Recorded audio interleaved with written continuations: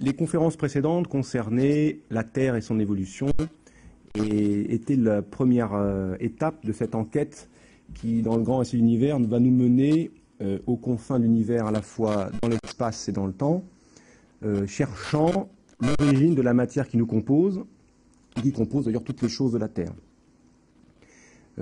en enquêtant sur la Terre, on se rend compte que la matière terrestre n'est que finalement recyclée. la Terre produit des nouvelles roches, produit des nouveaux matériaux. Nous sommes capables aussi de produire des matériaux qui n'existaient pas avant que l'homme soit sur Terre.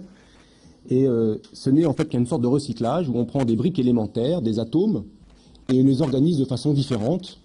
Alors à la fois par la forme, on est capable de faire des tables ou des chaises ou des cubes ou des sphères, mais aussi par la composition chimique, autrement dit par l'assemblage intime des atomes qui vont former des molécules d'eau. Alors il n'y a pas besoin de l'homme pour que les molécules d'eau soient sur Terre, ou des molécules de plastique, par exemple, qui ont été nécessairement euh, produites, enfin qui ont été euh, finalement utilisées par l'homme et produites par l'homme pour ses besoins.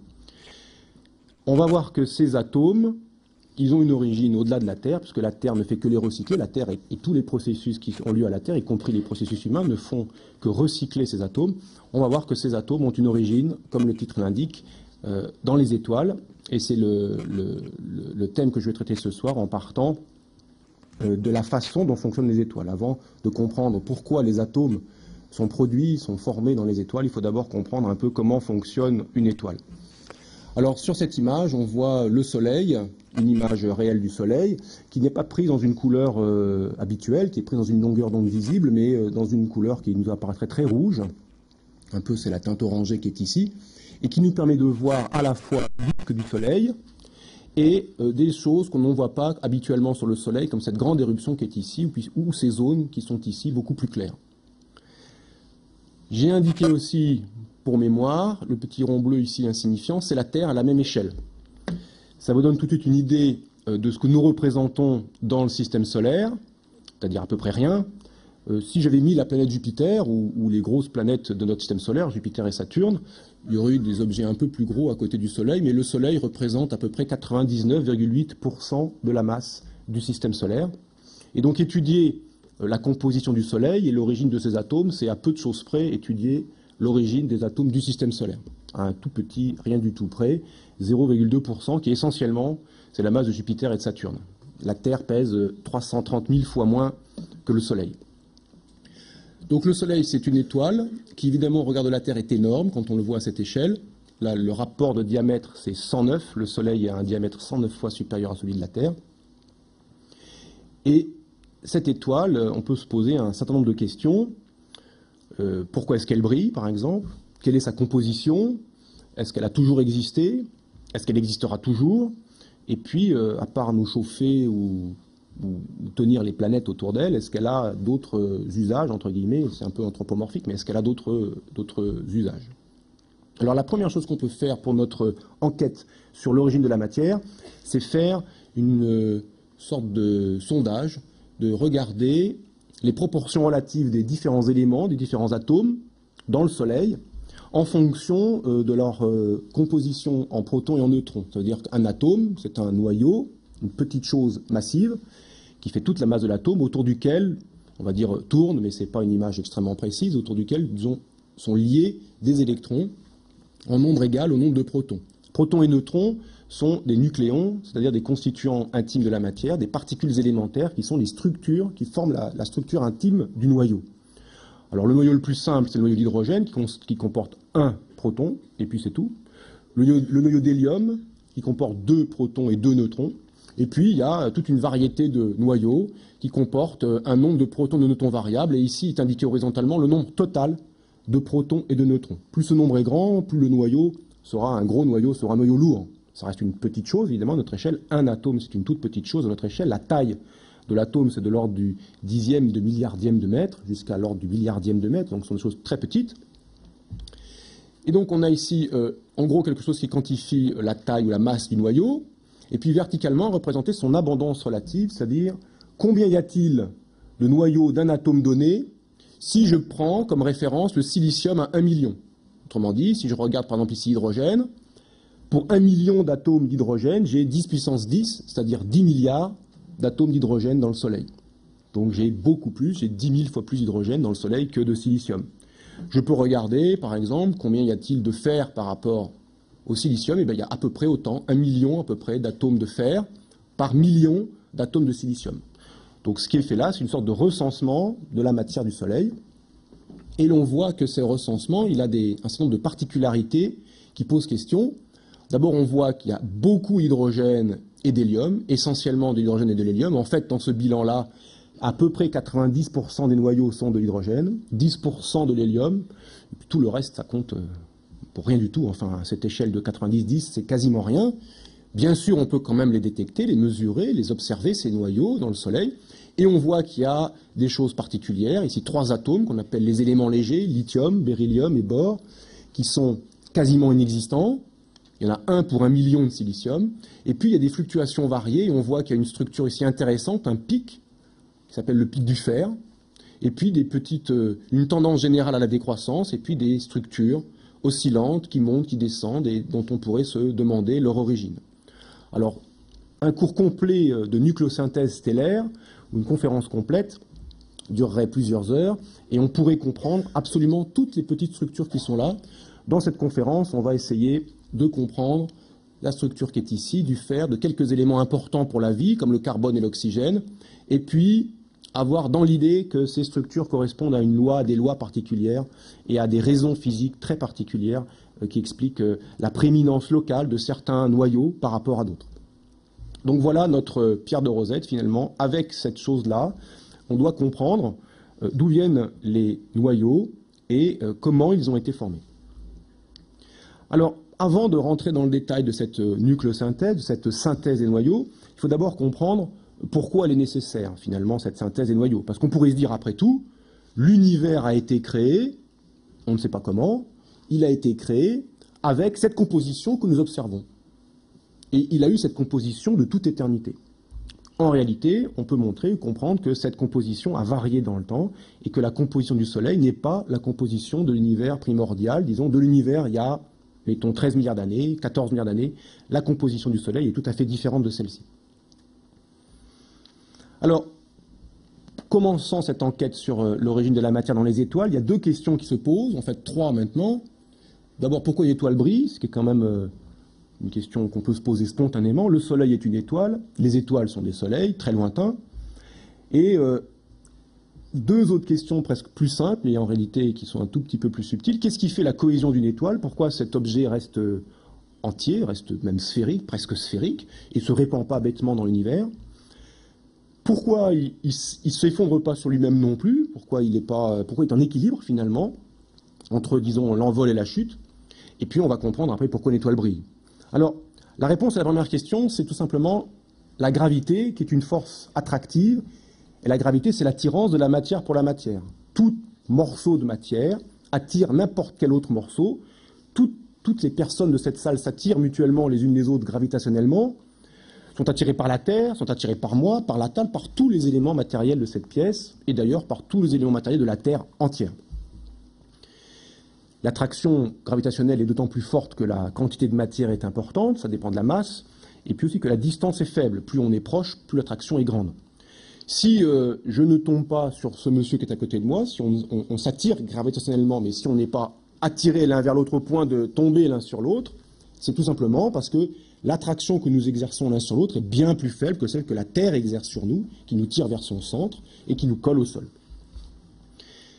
Alors, si la, gravitation, qui est cette attirance de la matière pour la matière, garde, donne à une étoile sa cohérence, sa cohésion, on pourrait dire oui, mais elle devrait tendre à ramasser les choses le plus possible, bah, de sorte à prendre moins de place et que finalement toutes les choses soient ramassées en un, petit bloc. Qu'est-ce qui fait que la taille d'une étoile est finalement pas si petite que ça? Le rayon du Soleil, par exemple, 700 000 km, donne euh, tout de suite une idée des échelles de grandeur. Alors, ce qui empêche l'étoile de s'effondrer sur elle-même, ce qui empêche donc l'étoile de s'effondrer sur elle-même, c'est la pression du gaz qui la constitue. Un gaz, quand on l'a dans une seringue, par exemple, dans une pompe à vélo, si on bouche l'extrémité de cette pompe à vélo, qu'on appuie sur la pompe, le gaz ne veut pas sortir, on sent que l'on peut exercer une force et qui va faire diminuer le volume du gaz, et viendra un moment donné où le gaz, comprimé par l'action de notre bras, va avoir une pression suffisamment importante pour la contrebalancer exactement. Et donc on ne sera plus capable de, de comprimer le gaz plus avant. Il s'établira un équilibre entre une force qui est exercée par mes muscles et la pression du gaz. Là, la force, ce ne sont pas mes muscles qui l'exercent, c'est la gravitation. Et la pression va lutter contre euh, le poids, finalement, contre l'effet de la gravitation. Il y a ce petit dessin qui est ici, où les couleurs euh, rappellent les, thèmes abordés. Si je prends une étoile dont, le cercle extérieur marque la limite, je prends à l'intérieur de cette étoile l'espace, la couche, la calotte sphérique comprise entre deux sphères, donc cette petite chose qui est ici entre ces deux cercles-là, et j'en prends un petit morceau. Ce petit morceau a un poids, c'est la flèche rouge, il est tiré vers le centre de la masse en jaune qui est située plus à l'intérieur que lui de l'étoile, il est donc tiré vers le bas, vers le centre de l'étoile. Sous lui, il y a un gaz qui exerce une certaine pression qui le repousse à l'extérieur. Et au-dessus de lui, il y a du gaz aussi qui exerce une pression qui le pousse vers le bas. Le bilan de cette poussée vers le haut, cette poussée vers le bas du au gaz, à la pression du gaz et de la gravitation, va établir un équilibre où le poids va être exactement compensé, la gravitation, la force de gravitation, va être exactement compensée par la pression du dessous moins la pression du dessus qui vont euh, pour partie s'équilibrer, mais pas tout à fait. Le poids va, va euh, euh, imposer une différence de pression entre la partie au-dessus et la partie en dessous. Il se passe exactement la même chose dans l'atmosphère de la Terre, où la pression atmosphérique est bien plus importante au niveau de la mer qu'en altitude, tout simplement parce qu'au niveau de la mer, on est plus proche du centre de la Terre, plus attiré plus intensément par la gravité terrestre, et que l'on doit supporter le poids de toutes les couches atmosphériques qui sont situées au-dessus. Et donc la pression, pour que l'atmosphère soit en équilibre, que ça ne se fasse pas une fine couche de gaz minuscule à la surface de la Terre, pour être en équilibre, il faut que la pression augmente régulièrement avec euh, la profondeur dans l'atmosphère, c'est-à-dire diminue avec l'altitude. Euh, diminue, c'est avec l'altitude, diminue quand l'altitude augmente. Dans le cas de l'étoile, la pression doit augmenter régulièrement pour que l'équilibre soit atteint, de sorte que chaque couche pesante se retrouve équilibrée par son poids une couche en dessous dont la pression est plus élevée que la sienne, et une couche au-dessus où la pression est moins élevée que la sienne. Donc on en arrive à la conclusion naturelle qu'une étoile, qui est un objet tenu par la gravitation, euh, équilibré par la variation de la pression dans son intérieur, est un objet en équilibre dont la pression doit augmenter avec la profondeur dans l'étoile. Alors ça, ça a tout de suite des conséquences extrêmement importantes. Un gaz comprimé est chauffé le gaz qu'on appelle parfait en thermodynamique dans les cours de physique habituels, le gaz parfait qui n'est en pratique jamais rencontré dans les gaz euh, de laboratoire, mais c'est une approximation euh, euh, habile, une approximation qui simplifie beaucoup les raisonnements. Ce gaz parfait, il s'échauffe quand on le comprime, et donc on comprend naturellement que le gaz de l'étoile, qui est de plus en plus comprimé au fur, et à mesure que l'on progresse vers le centre de l'étoile, ce gaz sera de plus en plus chaud. Et vous allez vous retrouver avec un objet qui, par le simple jeu de la gravité et de la pression, va voir sa température varier de l'extérieur à l'intérieur, du froid à l'extérieur au chaud à l'intérieur. Quand je dis froid et chaud, je ne dis pas froid et chaud à des échelles humaines, je dis froid et chaud pour une étoile. Pour le Soleil, 6000 degrés à la surface, 15 millions de degrés au centre. Donc c'est froid et chaud pour une étoile. Donc on a tout naturellement, par le jeu conjugué de la pression et de la gravité, cet équilibre qui s'établit et qui impose une variation de la température entre l'extérieur de l'étoile et l'intérieur de l'étoile. Et pourquoi une étoile est-elle brillante? Tout simplement parce qu'elle est chaude. Et elle est chaude parce qu'elle est pesante, elle est même très pesante. Un objet chaud et brillant, dans cette salle vous êtes tous brillants. Bon évidemment ça ne paraît pas comme ça. Parce que si j'éteins les lumières, je ne vous vois plus. Mais tout simplement parce que mes yeux sont incapables de vous voir. Mes yeux sont obscurs pour vous et, pour, vous pour moi, parce que vos yeux sont capables de voir la lumière visible, celle pour laquelle ils sont adaptés. Vous êtes brillant dans, une gamme de lumière qu'on appelle l'infrarouge, qui n'est pas sensible à nos yeux, et vous rayonnez dans l'infrarouge, et si les lumières de cette salle étaient éteintes, je vous verrai pourvu que j'ai un détecteur infrarouge adapté au rayonnement que vous émettez. Donc, une étoile est brillante parce qu'elle est chaude. Un autre exemple de chose chaude et brillante, c'est le filament d'une ampoule.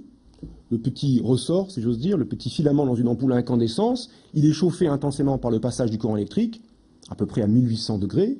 1500 à 2000 degrés, disons. Chauffé intensément, il se met à briller et à émettre de la lumière dans la gamme visible en particulier, qui nous le rend donc visible et qui permet de s'éclairer. Les objets chauds, quelle que soit leur température, rayonnent. Dans une certaine gamme de température, ça rayonne dans la lumière qu'on appelle visible. Si c'est trop chaud, ça devient invisible à nos yeux et, rayonnant dans l'ultraviolet et puis éventuellement des rayonnements encore plus euh, énergétiques. Si c'est trop froid, ça rayonne dans l'infrarouge et éventuellement des rayonnements moins énergétiques et que l'on ne peut pas capter avec nos yeux. Donc la structure d'une étoile, c'est quelque chose comme ça. Je ne vais pas rentrer dans tous les détails, sur tous les détails de surface. Il y a une zone centrale sur laquelle on va revenir. En tout cas, il y a un endroit qui est chaud à l'intérieur et froid à l'extérieur.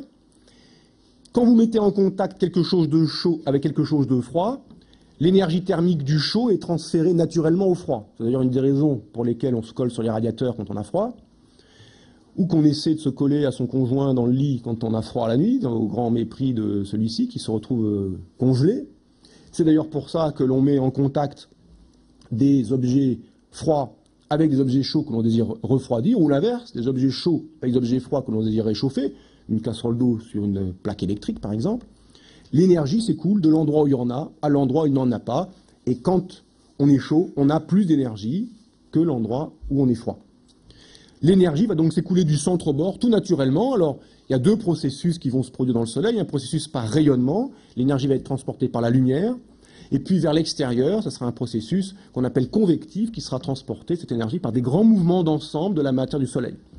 Le processus de rayonnement, il est couramment euh, rencontré dans les systèmes de chauffage à rayonnement, donc une résistance chauffante, et on met ses mains au voisinage de cette résistance et on sent, ou même près des braises d'un feu, on sent la chaleur, alors que pourtant euh, l'air chaud monte, et si on se met sur le côté du feu, on a quand même une sensation de chaleur très intense. Ça, c'est dû au rayonnement des braises, la lumière émise par les braises qui nous chauffent, essentiellement de l'infrarouge dans le cas des braises ou des résistances chauffantes.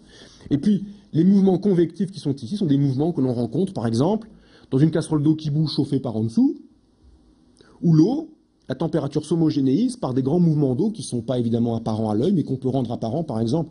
Alors ça ne rendra pas l'eau capable de faire cuire du riz ensuite, malheureusement, mais si vous mettez par exemple de la poudre d'aluminium ou des toutes petites... Je dis la poudre d'aluminium parce que c'est particulièrement pratique, mais on peut mettre des choses comestibles, par exemple quelques grains de semoule, pas trop, ça ne fera pas un plat de semoule, mais c'est des grains suffisamment légers. On les met, on va les voir à un moment donné, si on ne touche pas la casserole, on va les voir à un moment donné se mettre en mouvement ascendant, partant du bas vers le haut, suivant les mouvements de l'eau, les mouvements convectifs de l'eau. La formation des nuages aussi résulte des mouvements convectifs de l'atmosphère, des grands mouvements d'ensemble de l'atmosphère. L'énergie produite au centre, l'énergie du centre, parce que le centre est plus chaud, s'écoule vers l'extérieur plus froid. Ça, c'est un processus naturel de transport de l'énergie des régions où il y en a aux régions où il n'y en a pas. Et quant à la fleur à la surface, l'énergie n'a plus qu'une seule solution pour être transportée, la lumière. Et donc le soleil brille. Le soleil brille parce qu'il est chaud, et cette énergie nous parvient sous forme de lumière. Une étoile brille parce qu'elle est massive, elle est massive, donc il s'exerce un jeu entre pression et gravité qui va la laisser à l'équilibre, parce que cette étoile, nous la voyons à l'équilibre, il faut bien que ce jeu s'exerce pour que l'étoile existe.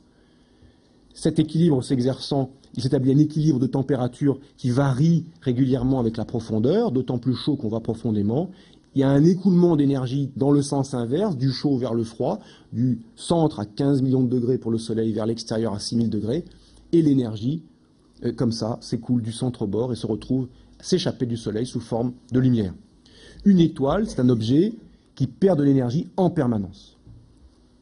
Et donc une étoile brille parce qu'elle est chaude, point. Donc la question est assez simple. Finalement, on voit que quelques éléments de physique, on pourrait beaucoup raffiner bien sûr cette description, mais quelques éléments de physique relativement élémentaires permettent de comprendre pourquoi les étoiles brillent. Alors tout un chacun, la plupart d'entre vous probablement, et puis j'ai déjà dit le mot tout à l'heure de réaction nucléaire ou de, ou de genèse de nucléosynthèse ou de formation de noyaux, on sait, ou on a entendu dire une fois ou deux de temps en temps qu'il y a des réactions nucléaires dans les étoiles et que ce serait elles qui feraient briller les étoiles. Pas du tout. Les étoiles brillent tout court parce qu'elles sont massives, et puis il y a tout le raisonnement que nous avons fait jusqu'à présent. Alors où interviennent ces réactions nucléaires? Eh bien dans la question suivante. Comment briller longtemps? Comment s'accommoder de ces pertes d'énergie Vous êtes des corps chauds, vous êtes des, euh, des êtres dont la température est supérieure à la température du milieu ambiant. Vous rayonnez de l'énergie, vous en perdez en permanence. Comment vous accommodez-vous de ces pertes d'énergie? C'est une question Voilà, vous mangez. Hein, c'est agréable. Mais en plus, ça résout un problème. Ça résout le problème de votre perte d'énergie permanente. En plus de ça, vous pensez, ça coûte de l'énergie. Vous bougez, ça coûte de l'énergie. Mais même allongé sur une, sur une table, sur un, sur un lit, c'est plus confortable. Allongé sur un lit sans rien faire, nu, je dis nu parce que c'est là où vous avez le maximum de rayonnement, les habits ne font pas écran à ce rayonnement, eh bien vous perdez de l'énergie par votre respiration, par euh, votre battement cardiaque, il faut quand même faire battre le cœur, par les agitations, euh, par les mouvements euh, non volontaires, par exemple, de l'estomac ou des, ou des muscles de l'intestin, vous perdez de l'énergie, ça consomme de l'énergie, et vous compensez l'énergie perdue par votre alimentation. D'où vient l'énergie d'une étoile? Première idée, M. Kelvin, Lord Kelvin, un grand physicien anglais au XIXe siècle, se dit, eh bien c'est tout simple, l'étoile, elle va prendre l'énergie qu'elle perd de toute façon, vous avez bien vu l'idée, c'est que cette énergie est perdue de toute façon, il n'y a pas d'autre chose que l'étoile est massive finalement, et donc elle perdra de l'énergie, elle va la prendre sur ce qu'on appelle euh, grossièrement le potentiel gravitationnel. Traduit en termes plus clairs, l'étoile va se contracter, va devenir de plus en plus petite, elle n'est pas en réalité à l'équilibre statique, son rayon n'est pas strictement constant, il va devoir évoluer au cours du temps, l'étoile va se contracter lentement, et se contractant lentement, elle va dégager de l'énergie gravitationnelle qui va être transformée en énergie, en énergie thermique, transportée vers l'extérieur de l'étoile et rayonnée sous forme de lumière que nous apercevons ensuite. Ça, c'était un raisonnement impeccable. Et quand on fait le calcul de combien de temps va durer le Soleil avec un mécanisme comme celui-ci, on obtient un nombre qui est 30 millions d'années. C'est un, nombre honorable, quand on ne sait pas l'âge du Soleil, quand on ne sait pas l'âge de la Terre, on est même content, on est même surpris, parce que la Bible dit la Terre a 6000 ans. Les choses de l'univers ont 6000 ans, à peu près. Donc, 30 millions d'années, c'est quelque chose d'assez intéressant, un premier résultat intéressant, mais les géologues, euh, les paléontologues ont commencé à se rendre compte que la Terre était bien plus ancienne que ces 30 millions d'années, et au début du XXe siècle, on savait déjà que son ancienneté remontait au bas mot à un milliard d'années, on n'avait pas encore de méthode de datation absolue comme nous avons maintenant, mais on avait quand même dans l'idée que c'était un nombre, ces 30 millions d'années, beaucoup trop petit. Et c'est posé la question de la, durabilité de la vie d'une étoile, de la durée de vie d'une étoile. Donc comment s'accommode-t-elle de cette perte d'énergie? Où puise-t-elle son énergie? L'idée est venue d'un grand physicien français qui s'appelle Jean Perrin. Elle a été traduite euh, techniquement par des équations, par des réactions nucléaires, par euh, un physicien allemand qui a travaillé ensuite en Allemagne, qui s'appelle Hans Bethe, qui est décédé il n'y a, pas très longtemps d'ailleurs. Ce sont des réactions nucléaires. Il se passe au sein des étoiles des réactions qui assemblent des noyaux, je vais dire petits, en un noyau, de deux petits noyaux, fait un noyau plus gros. Au cours de cet assemblage, on produit de l'énergie. Ces réactions dites de fusion, d'assemblage de noyaux, ce sont elles qui produisent l'énergie qui va juste compenser ce que l'étoile rayonne de toute façon. Donc le débit d'énergie nucléaire est très exactement ajusté par le jeu de la gravité et de la pression, et très exactement ajusté à la luminosité de l'étoile, c'est-à-dire à la quantité d'énergie lumineuse qu'elle perd par sa surface. Alors rapidement, voilà un genre de réaction. Quatre protons, ça ne se produit pas exactement comme ça. Je donne l'équation bilan. Je vais montrer un peu, euh, schématiser un peu comment ça se produit en pratique. 4 protons vont donner un noyau d'hélium 4 qui contient 2 protons et 4 nucléons, autrement dit 2 protons et 2 neutrons en tout, 2 plus 2 font 4. Il va produire deux autres particules, des positrons ici, des neutrinos, et puis de l'énergie avec des unités qui s'appellent le méga volt Ça vous dit absolument rien, le méga volt probablement pour la plupart d'entre vous ça ne vous dit rien. Pour vous chiffrer quand même, pour vous comparer ça, je vous donne juste euh, un élément de comparaison. Une réaction chimique, par exemple une réaction de combustion chimique, du phosphore dans l'oxygène, par exemple. Ça, c'est une réaction très, très, très euh, exoénergétique qui produit, pour de la chimie, beaucoup d'énergie. Ça produit typiquement quelques, une dizaine, de l'ordre de la dizaine d'électronvolts par réaction. Un million de fois moins. La chimie, ça produit un million de fois moins que des réactions nucléaires.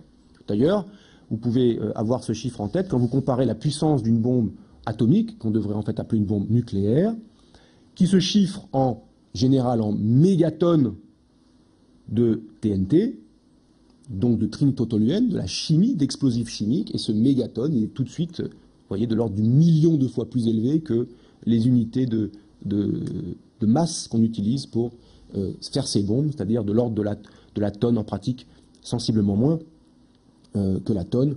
la masse critique pour des réactions de fission. Alors c'est un peu une autre chose. Pour des réactions nucléaires dans, les, dans la bombe genre Hiroshima, dans la bombe d'Hiroshima, la masse critique était de l'ordre de, quelques dizaines, de la dizaine de kilogrammes, et la réaction a dégagé euh, quelques euh, dizaines de kilotonnes de TNT. On retrouve le rapport 1 million entre la masse de combustible nucléaire qui a été nécessité pour une bombe nucléaire et la masse équivalente de combustible chimique, d'explosifs chimiques, pour dégager la même énergie. Cette énergie, elle vient de la différence de masse des noyaux. Quand on pèse un tas de nucléons, alors c'est pas comme ça, bien, sûr, qu'on a fait en pratique, hein, c'est une image. Si je prends euh, mes quatre protons, plus exactement mes deux protons et mes deux neutrons, qui constituent le noyau d'hélium 4, je les pèse et j'additionne leur masse. Deux fois la masse du proton plus deux fois la masse du neutron, et je compare à la masse du noyau d'hélium 4, avec protons et neutrons liés ensemble dans le noyau j'obtiens le résultat surprenant que la masse du noyau est plus petite que la masse, que la somme des masses des constituants. Et ça, c'est dû au fait que la force qui lie les nucléons entre eux dans les noyaux est une force attractive à laquelle il est associée une énergie de liaison qui est négative, qui vient euh, euh, fixer les noyaux entre eux, finalement coller, entre guillemets, les noyaux entre eux. Et cette différence de masse, c'est très exactement l'énergie qui est libérée pendant la réaction de fusion c'est peut-être, j'ai écrit en dessous peut-être la seule équation que absolument tout le monde sur Terre connaît, E égale mc2, l'équivalence, comme on dit, entre masse et énergie, l'idée que l'on peut convertir la masse en énergie, eh bien c'est tout à fait ce qui se passe dans une réaction nucléaire, et particulièrement dans une réaction de fusion nucléaire. Chaque seconde, le Soleil, comme je l'ai indiqué ici, convertit à peu près 600 millions de tonnes d'hydrogène, donc de protons, le noyau d'hydrogène est un proton, en à peu près 595 millions de tonnes d'hélium, d'hélium 4, les 5 millions de tonnes qui disparaissent, c'est-à-dire euh, de l'ordre de grandeur de deux ou trois fois la masse de la pyramide de Khéops, qui disparaît chaque seconde dans le Soleil, est transformée en énergie. Donc le Soleil, ça produit de l'énergie en transformant de la masse en énergie dans des réactions de fusion thermonucléaire.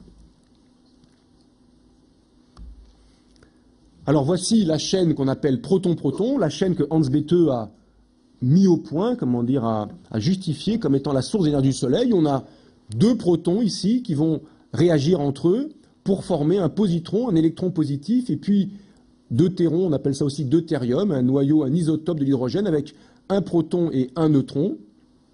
Et puis euh, la même chose ici. Et puis un autre proton va réagir avec ce noyau de deutérium, il va former un noyau d'hélium 3, où on a deux protons et un neutron.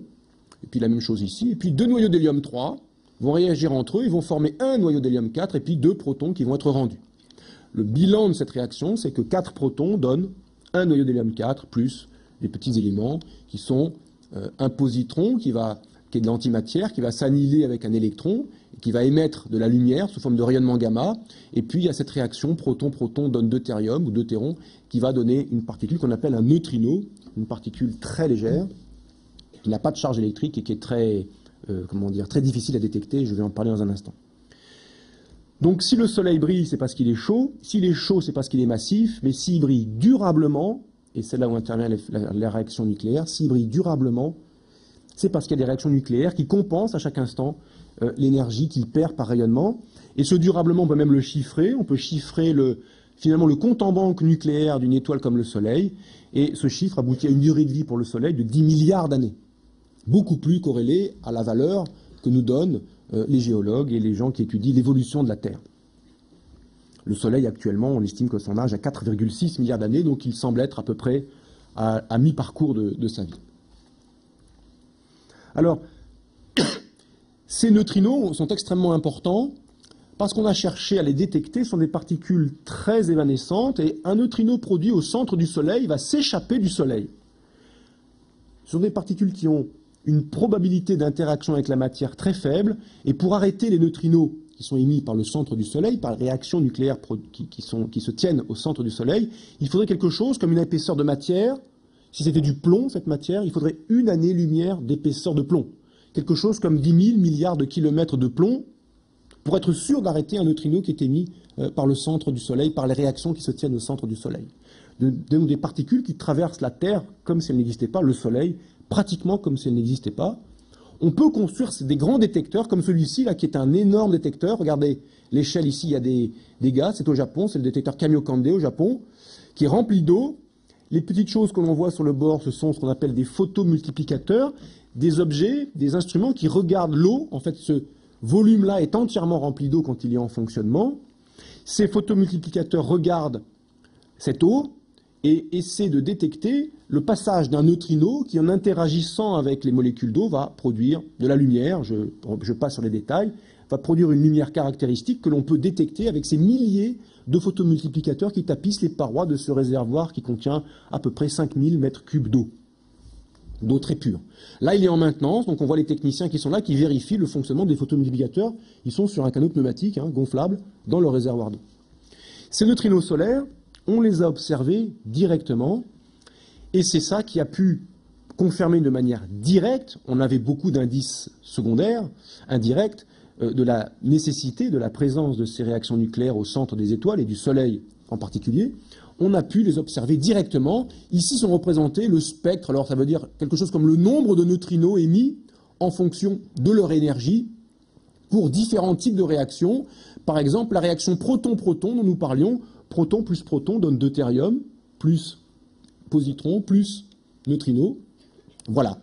Voilà ce qu'elle produit, des neutrinos, à peu près 100 milliards par centimètre carré et par seconde arrive sur Terre. 100 milliards par centimètre carré et par seconde. Ça veut dire que chaque seconde, un centimètre carré, c'est la surface de votre ongle de pouce. Il y a quelque chose comme 100 milliards de neutrinos qui la traversent chaque seconde, émis par le centre du Soleil. Et même quand il fait nuit, hein, parce que la Terre est à peu près transparente aux neutrinos, il y en a bien quelques-uns qui s'arrêtent dans ces détecteurs, de l'ordre d'une dizaine par jour, alors qu'il s'en produit 100 milliards par seconde et par centimètre carré, qu'il en arrive plutôt sur Terre 100 milliards par seconde et par centimètre carré. Donc ces neutrinos étaient la preuve directe de l'existence de ces réactions nucléaires au centre des étoiles, même si on avait, je passe sur les, parties historiques, même si on avait des, des, preuves indirectes de ces réactions. Alors, un petit point de physique nucléaire, mais je vois que je suis déjà bien avancé, donc il faut dans le temps, donc je ne vais pas passer trop de temps là-dessus. Une question intéressante, là c'est de la physique nucléaire.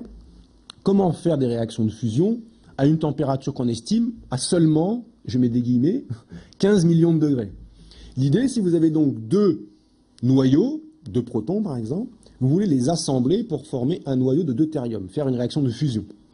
Pour faire cette réaction de fusion, vous devez lutter contre une force qui est une force d'origine électrique. Ces noyaux, ces protons ont une charge électrique positive et ils vont se repousser. Deux charges de même signe se repoussent, deux charges de signe contraires s'attirent. Deux noyaux deux protons, par exemple, sont toujours chargés positivement et vont donc se repousser. Cette répulsion d'origine coulombienne, le nom de la force électrique, c'est aussi ce qu'on appelle la force de Coulomb, le nom du, physicien qui l'a découverte et étudiée. Cette force coulombienne va empêcher, va, va pas vous faciliter le travail de, fusion. Vous devez vaincre ce qu'on appelle en physique la barrière coulombienne, cette répulsion qu'il y a entre deux noyaux. Comment faire ça à 15 millions de degrés? On peut calculer à quelle énergie il faudrait arriver pour que cette barrière soit vaincue entre deux protons, à quelle température il faudrait porter les protons pour que cette barrière soit vaincue? Ce calcul montre qu'il faudrait atteindre une température de 10 milliards de degrés. Et les, les modèles simples du Soleil qu'on peut faire montrent la température en ordre de grandeur est plutôt de l'ordre de 10 millions de degrés. Pas 10 milliards, 10 millions. Il y a un facteur 1000 de température qui manque. Comment faire pour que euh, ces euh, particules, ces protons, s'assemblent alors qu'ils n'ont pas l'énergie nécessaire pour vaincre cette répulsion coulombienne. Alors voilà un peu un dessin, mais on va peut-être pas passer trop longtemps. Ce dessin, il représente simplement euh, l'énergie d'interaction entre les deux noyaux, verticalement. Plus c'est haut, plus cette énergie est grande et répulsive. Plus c'est bas, plus l'énergie est grande, et comme elle est négative, elle est attractive. Quand on est dans le noyau, l'énergie est grande et attractive, les éléments sont liés entre eux.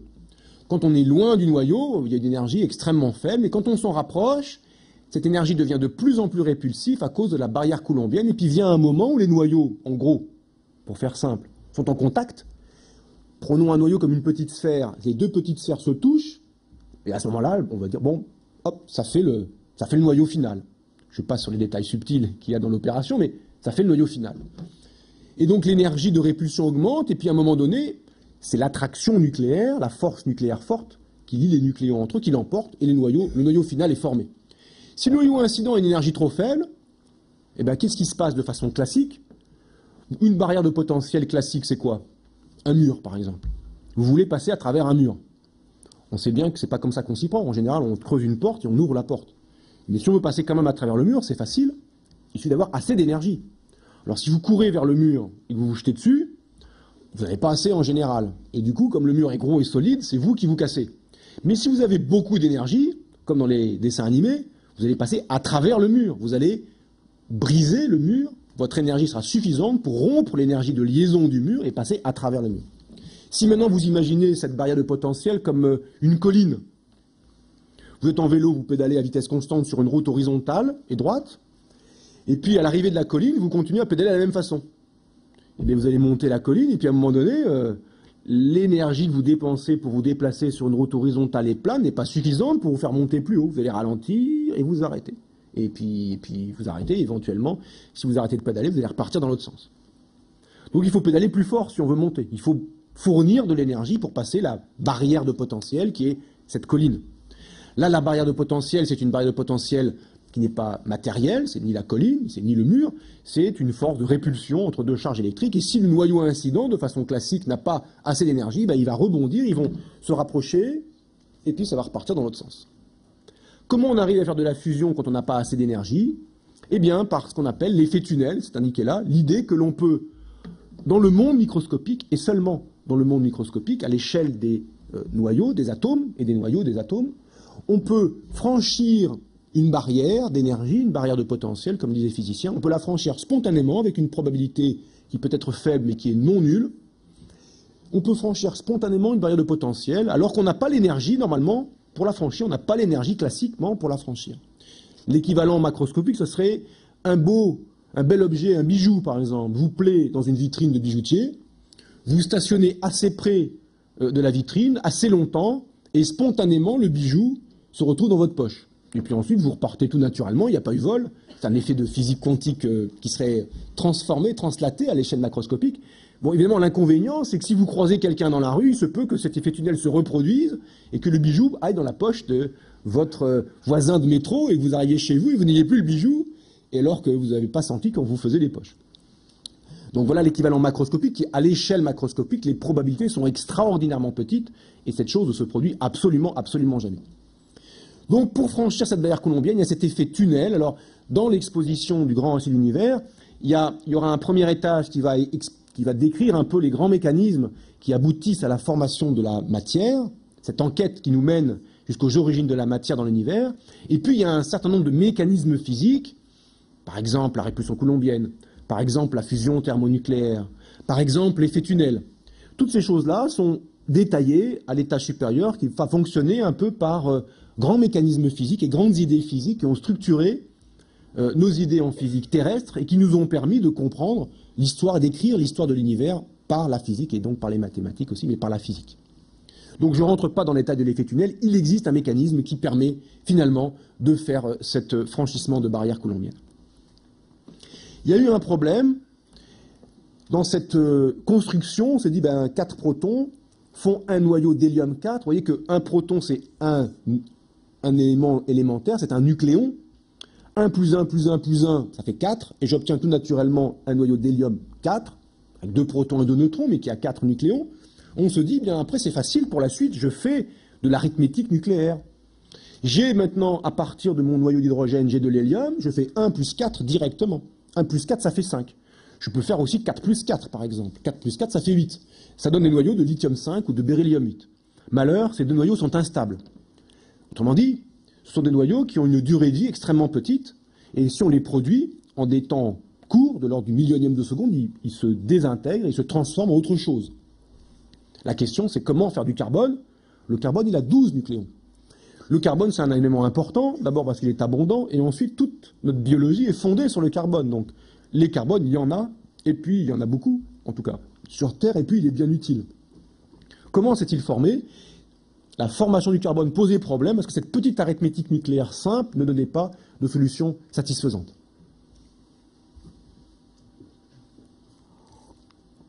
Alors, c'est ce monsieur qui est à gauche, qui s'appelle Fred Hoyle, qui a résolu le problème et qui a, d'une certaine façon, aussi assis la maîtrise de la nucléosynthèse stellaire, l'idée que cette nucléosynthèse était extrêmement importante et était à l'œuvre dans les étoiles avant même qu'on observe directement les neutrinos. c'est qu'il a proposé un mécanisme de formation du carbone 12 dans certaines conditions à partir de trois noyaux d'hélium 4 qui n'arrivent pas ensemble au même endroit. La probabilité est très faible. Hein. les collisions ou les réactions de fusion se font toujours à deux corps. Euh, quand on court dans le métro, qu'on a un noyau excité dans le métro, et qu'on collisionne d'autres noyaux qui sont plus ou moins excités, les autres passagers du métro, en général, on cogne les gens les uns après les autres. À moins d'écarter volontairement les bras pour avoir une grande, comme on dit en physique, section efficace, d'occuper beaucoup de place, pour cogner beaucoup de personnes, en général, on rentre dans les personnes les unes après les autres. On fait des collisions à deux corps plus souvent que des collisions à trois, quatre ou beaucoup de corps. Sauf dans les packs de rugby, par exemple, mais là, c'est un cas très particulier. Donc, faire une réaction à trois corps était inenvisageable, mais on a pu imaginer faire une réaction à deux corps, hélium 4 plus hélium 4, qui donne du beryllium 8, mais le beryllium 8 est instable. Mais dans des conditions particulières, si les noyaux ont assez d'énergie, avant que le beryllium 8 se désintègre, avant qu'il ne disparaisse, un troisième noyau d'hélium 4 peut arriver et former le noyau de carbone 12, 8 plus 4 font 12, mais il faut une condition, et c'est là où il a été absolument génial, c'est que pour que ça se marche vraiment, il faut non seulement que le noyau de beryllium 8 dure assez longtemps, ou alors que le noyau d'hélium 4 qui va s'additionner à ce beryllium 8 arrive assez vite, donc que les conditions de température soient encore plus intenses que celles qui règnent au centre du Soleil, plutôt dans les 100 millions de degrés que dans les 10 millions de degrés. Mais en plus, il faut qu'il existe ce qu'on appelle un niveau résonant du carbone 12. Autrement dit, pour faire simple, je ne vais pas entrer dans les détails, il a vu l'heure quand même, il faut que cette réaction et des conditions nucléairement favorables. Autrement dit, que la formation du carbone 12, il y a des règles de physique nucléaire qui vont favoriser l'assemblage beryllium 8 plus carbone 12. Mais l'astuce et le génie de Hoyle, c'était de dire, pour que ça marche, il faut ça, alors que ça n'avait pas été observé par les physiciens nucléaires de l'époque. Les physiciens nucléaires ont été voir dans le noyau de carbone 12, si par hasard il n'y avait pas cette particularité que Hoyle requérait pour que cette réaction triple hélium 4 donne carbone 12 se produise, et ils ont trouvé le niveau ou la particularité très exactement là où Hoyle l'avait prédite. Donc d'une certaine façon, la nécessité que les étoiles produisent, puissent produire du carbone 12 parce qu'on en a sur Terre, a eu une conséquence de dire il faut que le noyau de carbone 12 ait une certaine particularité nucléaire qui a été observée après coup. Et donc ça, c'est une prédiction qui a beaucoup, évidemment, renforcé l'idée qu'on avait mis le doigt sur la bonne idée sur la nucléosynthèse et que même on avait fait une prédiction avec cette idée-là. Alors l'observation directe des neutrinos a été la cerise sur le gâteau, mais bien avant cette observation directe, hein, on était capable de, justifier par des très forts arguments la présence de ces réactions nucléaires. Que se passe-t-il quand il n'y a plus de combustible nucléaire? C'est un problème, parce qu'au centre de l'étoile, les réactions nucléaires se produisent, mais pas dans toute l'étoile. On a vu que les réactions peuvent se produire non pas aux 10 milliards de degrés, mais aux 10 millions de degrés grâce à cet effet tunnel, mais à 1 million de degrés. Ah ben là, non, ça marche pas. Même l'effet tunnel, il est inefficace. Et à 6000 degrés, encore pire. Il y a une région petite, finalement petite de l'étoile, qui correspond en masse à quelque chose comme 10% de la masse de l'étoile, qui est capable, par les conditions thermodynamiques qui y règnent, de température, de pression, de densité, il n'y a qu'une petite région qui est capable de voir ces réactions nucléaires se produire. Les régions centrales les plus denses, les plus chaudes, les plus comprimées. Quand le combustible de cette région s'épuise, que se passe-t-il? Eh bien, on a dit tout à l'heure qu'une étoile avait finalement deux comptes en banque. Elle avait un compte en banque gravitationnel, qui était invoqué par Kelvin quand il a cherché à expliquer pourquoi, ou quand il a cherché plutôt à calculer la durée de vie des étoiles et trouver 30 millions d'années. L'étoile se contracte, cela produit l'énergie qui va être rayonnée, qui va compenser plus exactement celle qui est rayonnée. Donc elle a un compte en banque gravitationnel et elle a un compte en banque nucléaire qui va lui permettre de durer longtemps.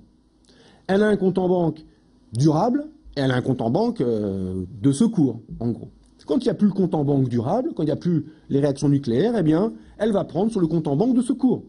Autrement dit, quand il n'y a plus de combustible, le taux de réaction, le nombre de réactions par seconde va diminuer, puisque finalement il n'y a plus d'essence, entre guillemets, il n'y a plus le combustible nucléaire, il n'y a plus d'hydrogène, par exemple, pour faire des réactions. Le cœur de l'étoile va se contracter, ça c'est... L'énergie, elle est quand même pompée.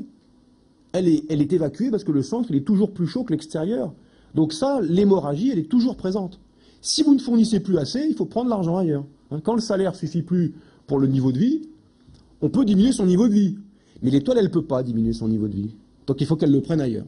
Et là, elle pioche dans son compte en banque. Alors pour nous, c'est pas facile des fois de le prendre ailleurs. Hein. Bon, alors on s'arrange en général avec son niveau de vie, ou on manifeste. où on demande des augmentations. Là, l'étoile ne peut pas demander d'augmentation. Plus exactement, elle a un petit capital d'énergie gravitationnelle. Le cœur va se contracter. Mais cette contraction du cœur va entraîner une augmentation de densité et de température dans la région centrale. Donc l'augmentation de la température de la région centrale par compression, un gaz comprimé s'échauffe, pour dire les choses simplement, et on va avoir à un moment donné une température suffisante pour être capable de brûler, de fusionner, non pas les noyaux d'hydrogène, mais les noyaux d'hélium. Et là, de l'hélium, il y en a plein. On a passé un certain temps à transformer de l'hydrogène en hélium. Et là, c'est parti. Avec l'hélium, on fait de la fusion qui va produire du carbone 12, par exemple. Et cette production d'énergie va compenser l'énergie rayonnée. La contraction va s'arrêter précisément au moment où vous allez allumer, finalement, déclencher ces réactions de fusion thermonucléaire.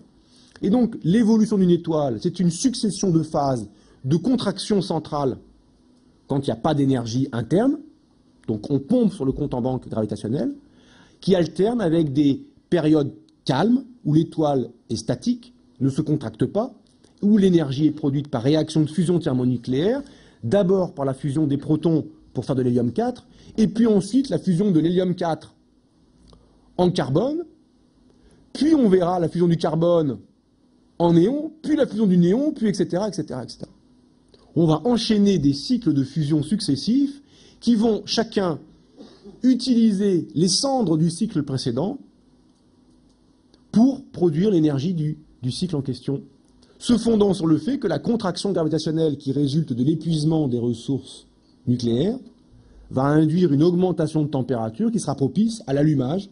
Je dis allumage, c'est une image chimique, au déclenchement euh, des réactions nucléaires du cycle suivant. Et donc voilà ce que c'est une étoile. En gros, c'est un objet qui est un réacteur à fusion thermonucléaire, confiné par la gravité, c'est la gravité qui tient tout, régulé, on peut même montrer que c'est régulé par la gravité, ça ne peut pas s'emballer, ça ne peut pas ralentir, c'est un niveau fixe et c'est le jeu de la pression de la gravité qui impose ça. Et c'est un réacteur qui en plus dure longtemps, parce que l'énergie nucléaire, c'est beaucoup d'énergie par unité de masse, beaucoup d'énergie par unité de masse, un million de fois plus que la chimie, un million de fois plus d'énergie dans un kilogramme de matière du point de vue nucléaire que du point de vue chimique. Donc ça permet de, fournir beaucoup avec pas beaucoup de matière. Et en plus, ce que vous avez consommé, vous allez le réutiliser ensuite. Donc ça vous donne un combustible pour la suite. Et le bilan de tout ça, pour une étoile comme le Soleil, ça donne une échelle de, un temps de vie, une durée de vie estimée de l'ordre de 10 milliards d'années. Et donc on produit des éléments et on va arriver jusqu'au fer, que j'entoure particulièrement, on va comme ça monter jusqu'au fer. Le fer est un élément très particulier, pour des raisons que je vais expliquer maintenant. Alors le fer, pourquoi est-il particulier? Voici un diagramme qui trace, un diagramme qui résulte du travail des physiciens nucléaires, qui trace horizontalement toujours le nombre de nucléons dans le noyau, nombre de protons plus nombre de neutrons dans le noyau, et en fonction de cette euh, finalement masse du noyau, cette qu'on appelle masse atomique, on devrait appeler masse nucléaire, on trace l'énergie de liaison, finalement l'intensité avec laquelle ces nucléons sont liés dans le noyau. Plus cette énergie est grande, plus les nucléons sont fortement liés dans le noyau et finalement plus le noyau sera difficile par exemple à briser. On constate que cette courbe part de pas grand-chose vers les noyaux légers, monte à quelques irrégularités, à un maximum ici vers le fer, et ensuite décroît régulièrement jusqu'à le dernier noyau naturel, qui est l'uranium.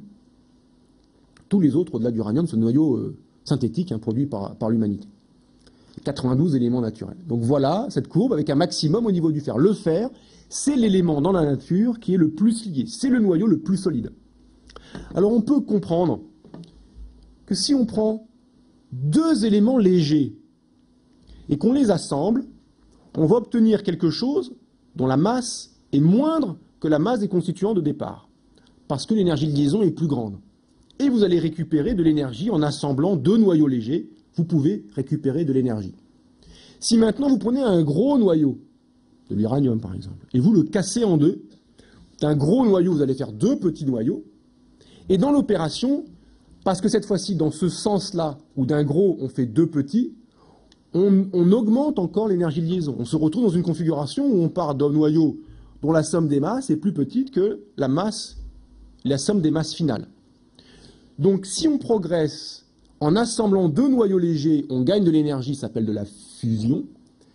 Si d'un noyau lourd, on casse un noyau lourd en deux noyaux plus légers, ça s'appelle de la fission. Et c'est bien pour ça que on prend le noyau lourd dans les réacteurs à fission pour faire de l'énergie, et que dans les réacteurs à fusion, comme ITER, qui n'est pas encore construit, mais disons est en projet et, sera euh, élaboré dans une dizaine d'années, en, comment dire, en expérimentation, en test et en utilisation de recherche, on va utiliser la fusion pour produire de l'énergie. Et dans les étoiles, l'énergie vient de réactions de fusion. Et le fer, qui est pile entre fusion et fission, c'est un noyau qui est énergétiquement stérile, en ce sens que si on prend deux noyaux de fer, ça ne rapporte rien, et qu'on les fusionne, ça ne rapporte rien, et si on casse un noyau de fer en deux, ça ne rapporte rien non plus. Le fer est un noyau énergétiquement, stérile parce qu'il est au sommet, finalement, de la hiérarchie, euh, de la solidité, de l'énergie liaison de tous les noyaux de la nature. Cette spécificité en fait quelque chose de très euh, important, le place de manière très importante, ce noyau de fer. D'abord pour une première raison, c'est quand on aboutit au fer, toutes les réactions nucléaires aboutissent au fer. Les réactions nucléaires d'assemblage, elles aboutissent au fer. Vous vous rappelez la courbe du début? Vous vous rappelez ce pic du fer? Il n'est pas scandaleux de trouver un élément abondant localement, certes moins que l'hydrogène et l'hélium, mais abondant localement, qui était le fer, qui est justement l'endroit où vers tout converge. Il est assez naturel que le fer soit un élément assez abondant au regard des autres, tout simplement parce que c'est vers lui que tout converge. Ensuite, l'étoile qui évolue, on disait, elle puise son énergie dans le cycle de fusion suivant. Mais quand vous arrivez au fer, il n'y a pas de cycle de fusion suivant. Le fer, il est énergétiquement stérile. Que se passe-t-il quand il n'y a pas de cycle de fusion suivant? Eh bien, l'étoile se contracte. Mais là, il n'y a rien qui va s'allumer derrière pour compenser l'énergie que l'étoile perd toujours. Maintenant, la température, quand on arrive à la fusion du fer, la température centrale est de l'ordre du milliard de degrés. Là, on n'est plus chez les comiques de l'étoile Soleil, à 15 millions, petits millions de degrés. On est à l'ordre du milliard de degrés. À cette température-là, il y a des choses très particulières qui vont se passer. La contraction, bon j'appuie les deux d'un coup, la contraction du centre de l'étoile va élever la température et va surtout euh, produire un gaz de lumière, parce que le centre est chaud, il y a de la lumière aussi, de la lumière de très grande énergie, qui va être capable de briser les noyaux de fer. Et on peut montrer un théorème, c'est un physicien euh, euh, indien qui s'appelle Chandrasekhar, très célèbre, et qui a travaillé en Amérique pendant la, grande partie de sa carrière, qui, a, qui dit la phrase suivante une masse autogravitante et énergétiquement stérile ne peut pas dépasser 1,4 fois la masse du Soleil. Et on peut le démontrer. Autogravitante, ça veut dire un objet qui est tenu par sa propre gravitation, qui n'a pas de source interne d'énergie, nucléaire ou ce que vous voulez, donc il ne fait que perdre son énergie par rayonnement. Cet objet-là ne peut pas peser plus que 1,4 fois la masse du Soleil. Quand le noyau de fer, qui commence à être produit quand on arrive à la synthèse du fer à partir du silicium, le de fer augmente. Quand il approche les 1,4 masses solaires, on s'approche de cette limite de Chandrasekhar qui nous dit interdiction de dépasser 1,4 masses solaires. Que se passe-t-il à ce moment-là? L'énergie des photons du centre de l'étoile est telle qu'on va briser les noyaux de fer en deux morceaux. Et on va payer de l'énergie pour ça. On perd l'énergie de la lumière pour ça. Mais que faisait l'étoile en se contractant? Elle essayait, par euh, l'extraction d'énergie gravitationnelle, de compenser ce qu'elle rayonnait. Mais là, il y a une perte d'énergie supplémentaire, briser le noyau de fer. Donc non seulement vous perdez en rayonnement, mais vous perdez en brisant le noyau de fer. Alors l'étoile, elle va commencer à imploser. Pire encore, les électrons et les protons vont pouvoir se combiner. Les électrons et les protons vont pouvoir se combiner les uns aux autres pour former des neutrons. La densité de la matière devient telle que cette réaction nucléaire un peu improbable est possible. Proton plus électron donne neutron. Cette réaction, elle produit un antineutrino. un neutrino, la, différence est à peine subtile pour nous. Produit un antineutrino qui est une particule qui interagit très peu avec la matière, qui va essentiellement s'échapper de l'étoile. Et voilà une deuxième source de perte d'énergie. Donc l'étoile perd de l'énergie pas qu'elle rayonne. Elle perd de l'énergie parce que la lumière a brisé les noyaux de fer, alors qu'elle a mis un certain temps pour les former, ces noyaux de fer. Et en plus de ça, elle perd de l'énergie par émission de neutrinos. Alors là, il se passe une catastrophe, implosion du cœur de l'étoile, qui va tomber en chute libre en un temps qui est de l'ordre de la centaine de millisecondes, donc 0,1 seconde, hein, j'ai bien dit 0,1 seconde. On a parlé de temps pour le Soleil de 10 milliards d'années. les étoiles qui vont pouvoir arriver jusqu'à la fusion du fer, enfin la production du fer par fusion du silicium sont des étoiles suffisamment massives, des étoiles qui font typiquement 7 à 8 fois la masse du Soleil. Une étoile comme le Soleil va enclencher le cycle de fusion de l'hélium, et puis voilà. Après, sa masse ne sera pas suffisante pour que la contraction qui va suivre, la contraction qui va suivre la production euh, du carbone à partir de l'hélium, et à l'épuisement de l'hélium, espérait-on, euh, la fusion du carbone en autre chose, la contraction ne sera pas suffisamment puissante, donc parce que la masse du Soleil n'est pas suffisamment importante, pour enclencher le cycle suivant. Et l'étoile va finir sa vie sous forme d'une petite étoile, je ne rentre pas dans les détails de cette évolution stellaire, sous forme d'une d'abord une nébuleuse planétaire, et puis le résidu stellaire s'appelle une naine blanche, une petite étoile qui fera typiquement la moitié de la masse du Soleil, ou 40% de la masse du Soleil.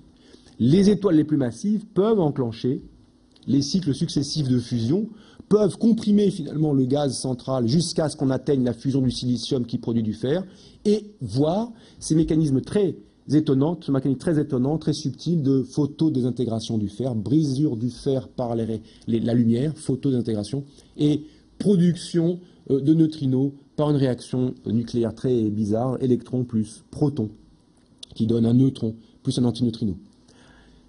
Le cœur de l'étoile massive s'effondre en quelque chose comme quelques centaines, de l'ordre de la centaine de millisecondes. On obtient un objet très compact au centre, une étoile à neutrons qui pèse typiquement de l'ordre de la masse du Soleil. Un objet qui fait une taille de l'ordre de 10 km. Le Soleil, pour, la même masse, fait 700 000 km. Vous voyez déjà le facteur de compression qu'on a subi. Et un objet évidemment extrêmement rigide sur lequel va tomber le reste de l'étoile en chute libre sur cet objet. Cette chute de la matière, de l'enveloppe de l'étoile, qui finalement, un peu comme dans des dessins animés, on lui a enlevé le tapis sous les pieds. Et le personnage se retrouve avec plus de sol sous lui, et qu'est-ce qui se passe? Il tombe. Eh bien l'étoile, le gaz de l'étoile qui était avant stratifié, gentiment, avec la pression, la gravité, ce jeu subtil, bon ben là, il n'y a, plus rien. la, partie là, poum, elle s'est effondrée. Et puis l'autre, elle est là, et elle se rend compte que c'est tombé, qu'il n'y a plus rien. Donc elle va tomber, bien sûr, à un rythme plus lent, un rythme fixé par l'hydrodynamique, et non plus fixé par la chute libre, brutale de, la matière de la zone centrale, et elle va tomber. Et ce mouvement va s'inverser, il y a tout un mécanisme très subtil, mais je ne vais pas rentrer dans les détails, ce mouvement de chute va s'inverser et l'étoile va exploser. On aura un résidu central qui sera l'étoile à neutrons, typiquement 10 km et une masse solaire, et toute l'enveloppe, tout le reste, ça peut se chiffrer en masse solaire, plusieurs masses solaires d'enveloppe qui vont être expulsées dans l'espace à des vitesses tout à fait considérables, de l'ordre de 10 à 20 000 km par seconde. Alors, ça, ça pose une, question qu'on n'avait pas imaginée au début. On avait l'impression d'être malin. On se disait, ah bien, on a compris, dans le Soleil, on fait de l'hélium. L'hélium fera du carbone. Et puis, dans d'autres étoiles, on ira, avec du carbone, faire du néon, et puis des éléments intermédiaires. Je dis du néon, mais il y a tout un tas d'éléments intermédiaires, bien sûr, qui vont être produits. On a l'impression d'avoir compris l'origine des éléments. D'où vient le carbone? Ben, Le Soleil fait du carbone, ou en fera. Voilà, le Soleil euh, nous donnera du carbone. Oui, mais à la fin de sa vie, le Soleil, qu'est-ce qui lui arrive? On dit qu'il perd une partie de son enveloppe sous forme d'une nébuleuse, et puis il reste une petite étoile qui est la naine blanche. Mais le cœur nucléaire, la partie où ont eu lieu les réactions nucléaires, c'est au centre de l'étoile, dans une partie qui est encore à l'intérieur de la naine blanche. Donc une étoile comme le Soleil, certes, elle produit des nouveaux noyaux, mais les nouveaux noyaux, ils restent dans le résidu stellaire. Ils finiront dans l'étoile naine blanche. Ils ne seront pas rendus au milieu interstellaire. Et donc on ne les verra pas pour éventuellement former des planètes et puis éventuellement des êtres vivants dont le cycle de vie, dont la biologie est fondée sur le carbone, sur la chimie du carbone. Donc produire des éléments, c'est bien gentil, mais encore faut-il les rendre au milieu interstellaire pour qu'ils soient utilisés ailleurs, qu'ils enrichissent finalement nucléairement le milieu interstellaire. Donc ce n'est pas les étoiles comme le Soleil encore qui sont intéressantes. Elles forment des éléments nouveaux certes, mais des éléments nouveaux qui ne servent à rien, qui restent dans le résidu stellaire, dans la naine blanche finale. Pour les rendre, ce sont les supernovas qui font ça. Les étoiles les plus massives, les plus massives qui, elles, vont enchaîner d'abord un grand nombre de cycles de fusion jusqu'à la production du fer, et de surcroît, en explosant, vont rendre une grande partie de leur matière.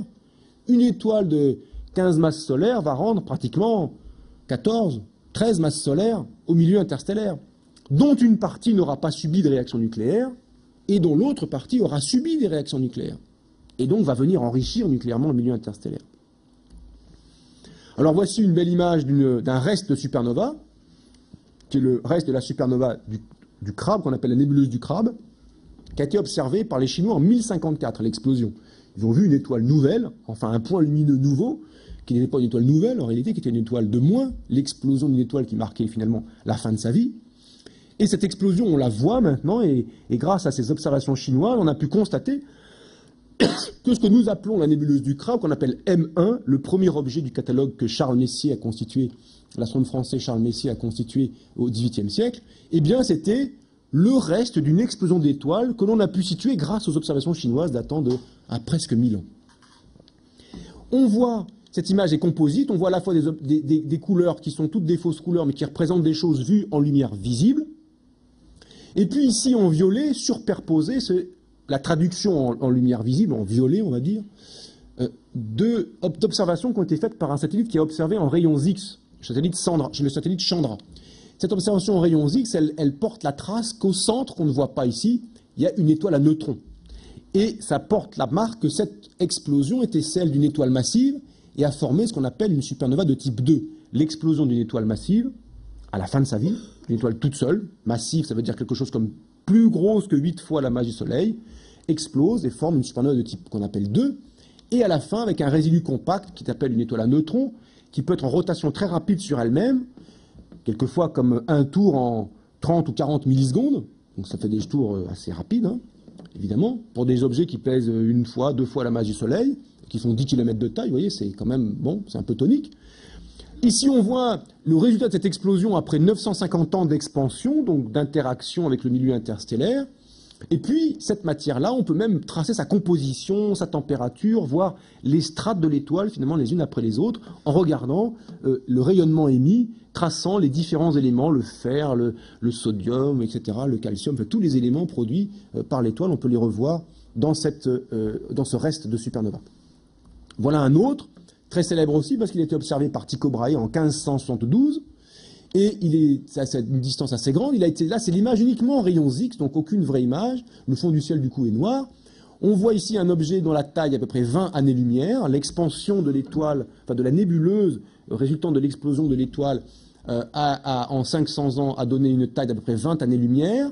On voit ici, euh, lumineuse en rayons X, l'onde de choc, la partie de cette enveloppe en expansion très rapide euh, qui interagit avec le milieu interstellaire qui est là tranquille, et puis qui se prend cette onde de choc un peu comme une explosion, comme quelque chose en expansion très rapide. Et au centre, alors évidemment, ce n'est pas évident, mais on sait, parce qu'en rayons X, on ne voit pas de source centrale, on sait qu'il n'y a pas d'étoile à neutrons, et donc on sait que cette supernova, l'objet qui a produit cette supernova, n'était pas une étoile massive, n'était pas une supernova de type 2, mais une supernova de type 1A. Alors je ne vais pas rentrer dans les subtilités de la classification, cela veut dire que le mécanisme d'explosion était celui d'une étoile de type naine blanche qui a explosé en accrétant de la masse d'une étoile compagnon. Dans un couple d'étoiles, dans un système binaire, la petite étoile finalement a fini par gober la plus grosse. La plus grosse, pourquoi? Elle a été gobée parce qu'elle a gonflé. Euh, au cours de son évolution, une étoile comme le Soleil euh, son cœur se contracte, on l'a vu, quand les réactions nucléaires s'épuisent, mais la partie extérieure, la luminosité de l'étoile va augmenter, et ça va imposer un gonflement de l'étoile qui va devenir une géante rouge, parce que euh, sa couleur de surface sera plutôt rougeâtre, sa température va légèrement diminuer, elle va gonfler cette étoile, et une géante rouge qui gonfle dans un couple binaire où il y a une naine blanche à côté, eh bien elle peut se déverser pour partie sur la petite naine blanche, et pour des raisons euh, physiques que dans lesquelles je ne vais pas rentrer dedans, mais on pourra en discuter aux questions si le cœur vous en dit, la naine blanche, en accumulant cette masse, va exploser et va produire une supernova de type 1A.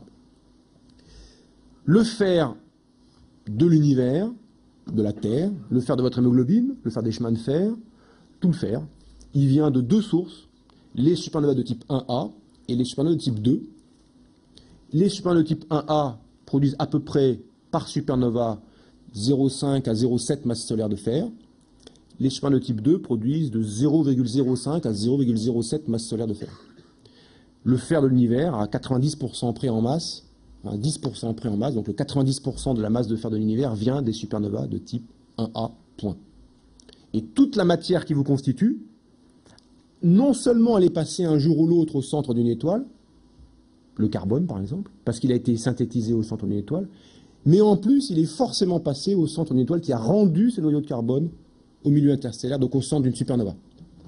Donc euh, quand on dit que nous sommes poussière d'étoiles, Jolie phrase du Hubert Reeves, très belle phrase du Hubert Reeves, très poétique, c'est parfaitement juste.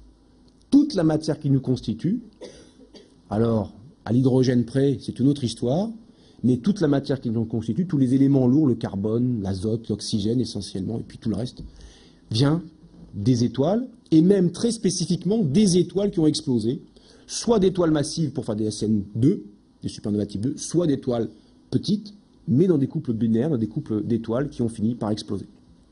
C'est des supernovas de type, de type 1. Alors, j'ai déjà presque dépassé mon temps. Là, j'ai parlé d'aller jusqu'au fer. Vous allez me dire, mais il n'y a pas du fer sur Terre. Et l'être humain, il a produit des éléments radioactifs artificiels, le plutonium par exemple. Il n'y en avait pas un atome de plutonium sur Terre avant que l'homme ne fasse ça dans ses centrales. Mais l'uranium et le plomb, enfin bref, tout ce qui est plus lourd que le fer, d'où ça vient? Alors là, il se passe autre chose, et encore une fois, euh, dans ces supernovas, et puis ailleurs, deux processus nucléaires qui s'appellent le processus S, comme slow neutron capture, capture neutronique lente, ou le processus R, comme euh, capture de neutrons rapide.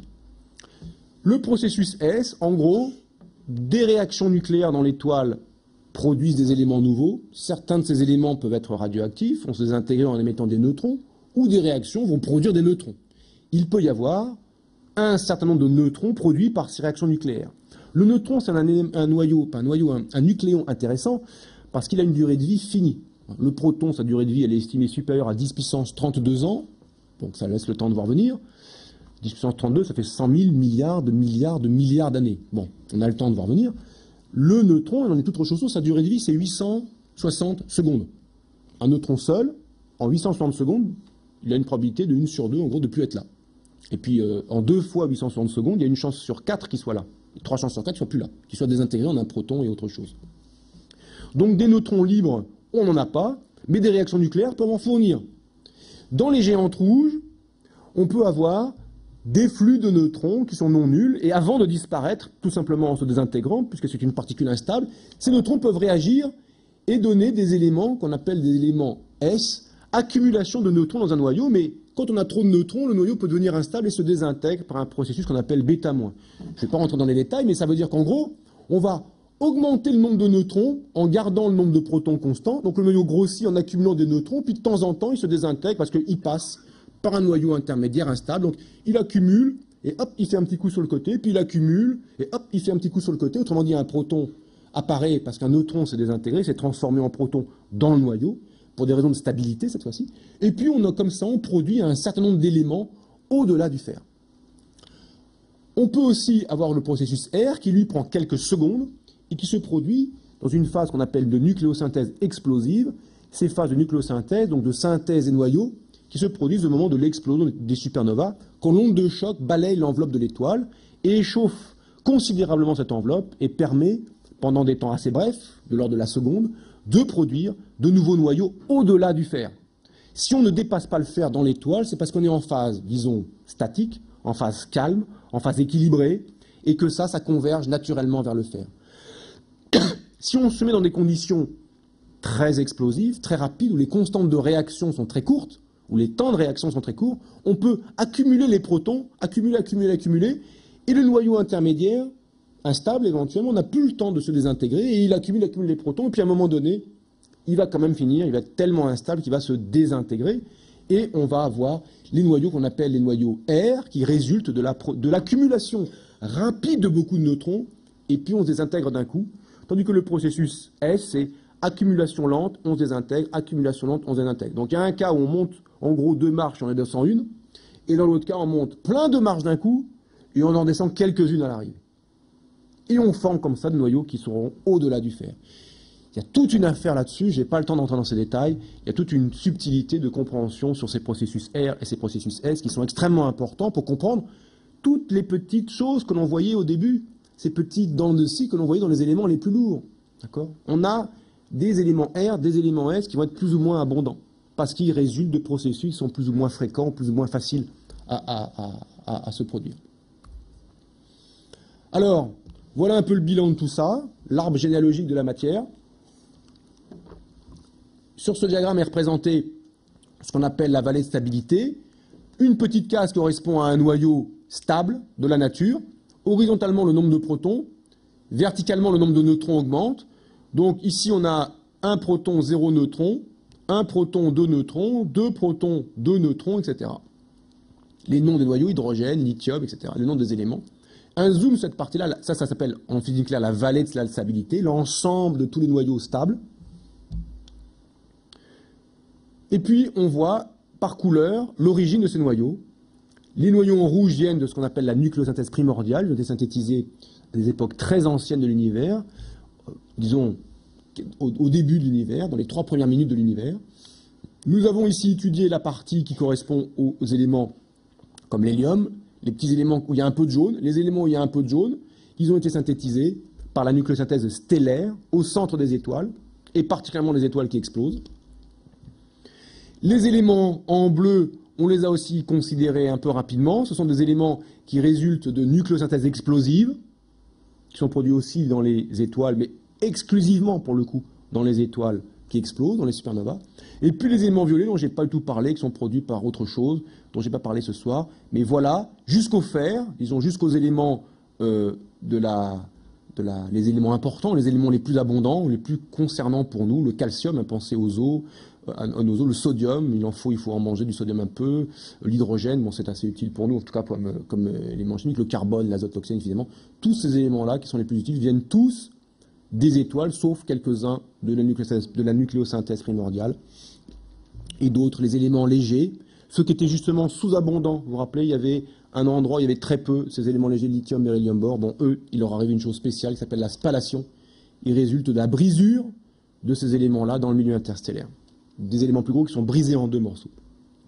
Donc voilà, brosser à grands traits cette généalogie de la matière. On peut aussi mettre en parallèle l'évolution stellaire, les étoiles de masse comme le Soleil, par exemple, qui vont évoluer, se former, là c'est la partie de formation, devenir une étoile comme le Soleil qui va euh, évoluer, son cœur va se contracter, en, enchaîner les cycles de fusion nucléaire, la partie extérieure, deux points de vue de l'extérieur, l'étoile va gonfler, va finir comme une nébuleuse planétaire et puis à la fin une petite naine blanche. Elle n'aura rien rendu au milieu interstellaire. Les étoiles plus massives, qui vont démarrer leur vie comme d'abord des géantes bleues, vont gonfler, éventuellement exploser en, supernova de type 2, formant une étoile à neutrons. Et puis la même chose pour celle-ci, et puis arrivant à la fin peut-être à un trou noir et non pas à une étoile à neutrons, vont engendrer ce qu'on appelle les super coquilles ou les coquilles. Ce vent cette matière éjectée à grande échelle et à grande vitesse, surtout dans, les milieux interstellaires, va mélanger ce milieu interstellaire, va enrichir nucléairement ce milieu interstellaire. Et voilà une image, hein, qui n'est pas un dessin, ça c'est un, on n'est pas très bien présenté, une image de qu'est-ce que c'est un reste, un, reste de supernova très vieux. On a vu le reste de Chandra en rayons X, qui est assez jeune. On a vu le reste euh, de la supernova chinoise de 1054, qui est aussi assez jeune. Il y a des restes qui ont des milliers, des dizaines de milliers d'années, qui sont, des filaments de gaz interstellaires qui se diluent petit à petit dans le milieu interstellaire. Les étoiles de plus faible masse font des choses similaires au Soleil, finissent comme une laine blanche et éventuellement ne font même pas une étoile. En tout cas, ces étoiles-là, si elles font des réactions nucléaires, ne sont pas utiles pour l'enrichissement nucléaire de l'univers. Alors, tout ça, bien sûr, ça se met après dans un grand schéma qui est le schéma galactique, une collection en gros de gaz de une centaine, pour dire gros, pour dire simple, de centaines de milliards d'étoiles. Les petites font des géantes, qui font des nébuleuses planétaires, qui font des naines blanches, qui éventuellement font des supernovas de type 1 qui vont rendre au milieu interstellaire. La nébuleuse planétaire, elle rend au milieu interstellaire, mais sans enrichissement. Les géantes rouges, elles ont déjà un vent stellaire assez important, elles rendent une petite partie interstellaire sans enrichissement nucléaire. Les grosses étoiles vont former des étoiles supergéantes qui vont aller jusqu'à la fusion du fer, qui vont exploser en supernova de type 2, processus R, processus R qui va former de nouveaux éléments, étoile à neutrons, un trou noir, un résidu qui va bloquer dans un résidu stellaire un peu de la matière, ça enrichit, ça touille le milieu interstellaire et ça recommence en formant de nouvelles étoiles. Et là, c'est le thème, ça sera le grand thème et bien d'autres choses encore de la conférence de la semaine prochaine, auquel je vous invite vivement d'assister, de David Elbaz, qui lui a brossé à l'échelle galactique qu'est-ce qu'on peut dire de cette quête de la matière, comment cette matière se transforme à l'échelle galactique, comprenant ce qui se passe à l'échelle d'une étoile, Prenons plein d'étoiles ensemble, elles évoluent ensemble à des rythmes différents. Les étoiles les plus massives sont aussi celles qui ont la durée de vie la plus courte. Une étoile de 10 masses solaires a une durée de vie en gros 3000 fois moins grande que celle du Soleil. une durée de vie, l'étoile du Soleil, le Soleil, donc 10 milliards d'années. Donc il faut tenir compte de tout ça. Ce milieu interstellaire produit de nouvelles étoiles. Et puis il y a bien sûr, euh, quand on observe la dynamique d'une galaxie et puis des amas de galaxies, d'autres problèmes qui se posent, qui semblent montrer qu'il y a une matière qui n'est pas visible, pas lumineuse, et qui n'est pas non plus susceptible de faire des réactions nucléaires, qui s'appelle la matière noire. Et donc voilà, euh, David Elbaz vous parlera de ça, je pense très bien, la semaine prochaine. Voilà, merci beaucoup de votre attention. Et puis maintenant, place aux questions.